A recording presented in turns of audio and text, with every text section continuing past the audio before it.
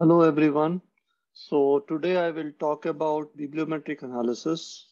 In fact, I'll talk about one step in that. Let's say we have two databases from which we want to extract data and run the bibliometric analysis on the combined data set.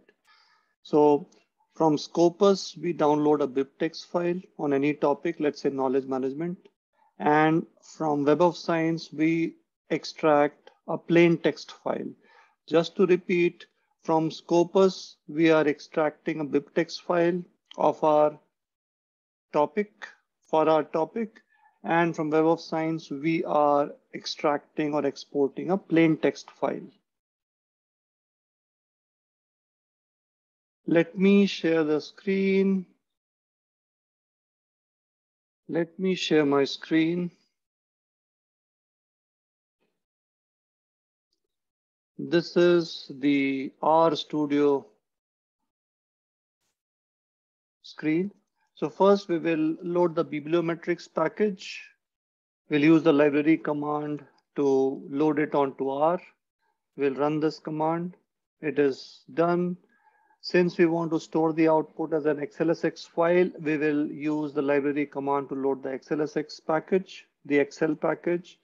It is done we'll load the bibliometrix data library. That is done. We won't use this biblioshiny. Now, let's say we have saved the extracted file as knowledge underscore management underscore WOS.txt, where WOS, WOS is Web of Science. So we create a new variable called web underscore data, and we use the command convert to data frame, convert to data frame, which is part of the bibliometrix package and we give the file name and we run this line. So what we are doing here is, if you see in the console, you're converting your WOS collection. WOS is Web of Science into a bibliographic data frame. So this is done. Now the next step is to import the Scopus dataset. We have extracted the Scopus dataset as a BibTeX file. So we are creating a file called Scopus underscore data. Again, we'll use the convert to data frame. And the syntax here is we'll use knowledge management.bib, that is the file name.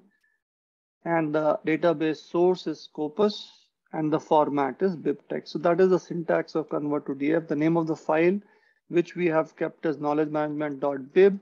Database source is Scopus and format is BibTeX. Let's convert this. Let's run this line when we run this line, it says converting your Scopus collection into bibliographic data frame. It is done.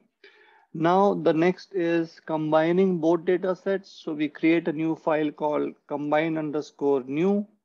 And the function that we use is merge DB source.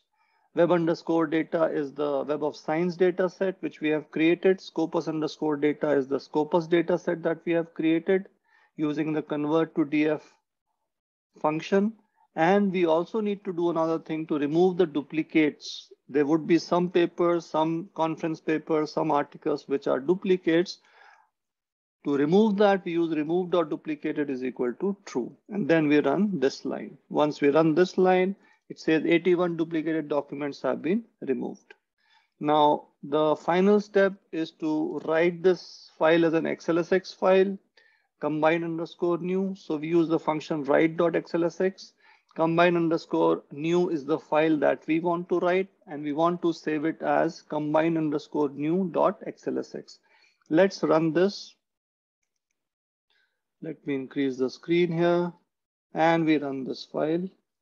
It is writing and it has written it.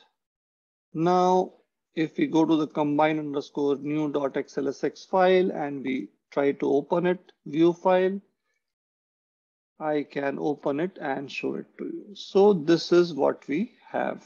So if you see that we have all the data sets, all the data points here. We have 404 files, which is a sum of the Scopus data set and the Web of Science data set.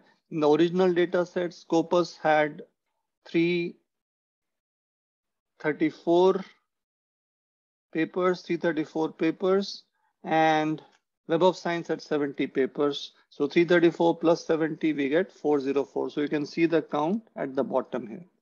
So this is how you create the data set. This is how you create the data set without using any other software, but by using R. So hope you like this video. In the next video, I'll explain how do you combine different text files. Let's say you're not able to download all the data files at one go because there's a limit of 500 files in Web of Science. Suppose you have 20,000 files, you'll have to download one at a time, or you'll have to download 500 articles at a time, or bibliometric data of 500 articles at a time. So how do you combine that? And finally, club it with Scopus dataset and do your bibliometric analysis. Now, once you have downloaded this XLSX file, you can import it as a bibliographic file in BiblioShiny and do your analysis. Thank you for listening.